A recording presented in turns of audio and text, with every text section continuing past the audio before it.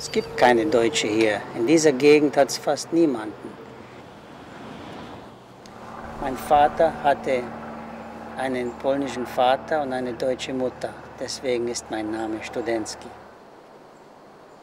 Da war ich zehn Jahre alt, bin ich nach Amerika ausgewandert. Aber das kam, weil mein Vater hatte schon Geschwister in Lawrence, Massachusetts seit 1922. Zwei Brüder und eine Schwester, die sind dorthin gezogen und haben in den Textilfabriken gearbeitet. Mein Vater wurde auf einmal krank und nach 18, 18 Monaten hier in Amerika ist er gestorben. Dann habe ich hier in, in einer Fabrik gearbeitet für 34 Jahre. und bin in 98 bin ich dann in den Ruhestand gegangen. Das ist ja unglaublich.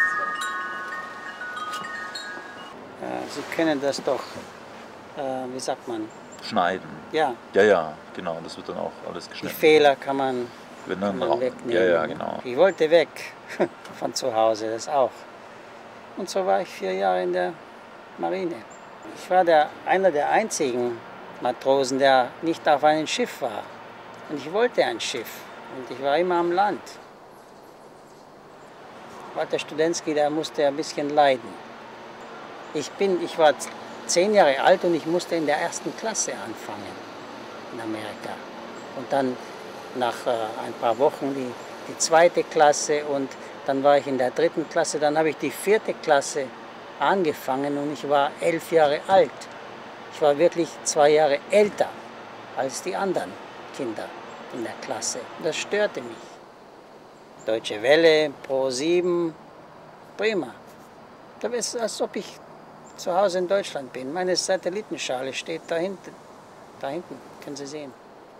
Es ist nur hart, auf einmal, einen Tag arbeitet man und auf einmal arbeitet man nicht. Aber ich habe mich schon daran gewöhnt.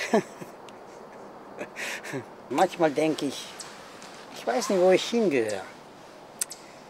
Ich bin ein Amerikaner natürlich. Ich bin, ich habe mich gewöhnt, da hier zu leben. Ich, ja, ich lebe schon, letzten September war es äh, 58 Jahre.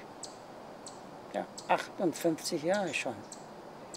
Aber ein Stück ist noch immer dort in Deutschland von mir. Ich möchte einen deutschen Pass, aber das geht nicht. Ich, ich möchte einen Pass, einen amerikanischen Pass haben und einen deutschen Pass. Das wäre schön. Das ist, das ist, wie nennt man dieses? Das nennt man Condominiums. Das ist so, meine Lebensgefährtin besitzt das eigentlich. Ich nicht. Wir sind schon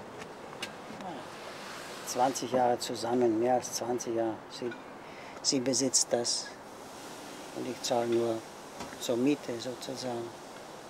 Ich will in beiden Kulturen leben. Ich will in beiden Kulturen bequem sein. Ich will nicht sagen, Amerika ist besser oder Deutschland ist besser. Ja. Das sage ich nicht. Zum Beispiel das Handy. Da habe ich mir gesagt, Deutschland konnte kein ordentliches Wort dafür finden.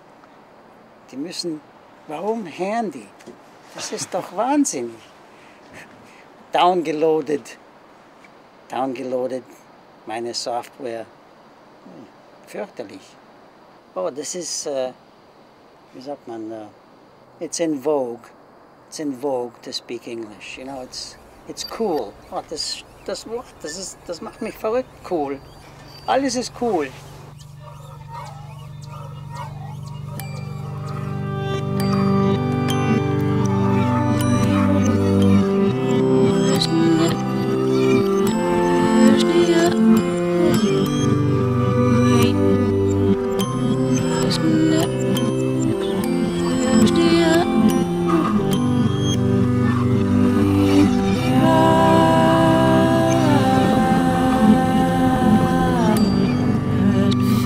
alarm.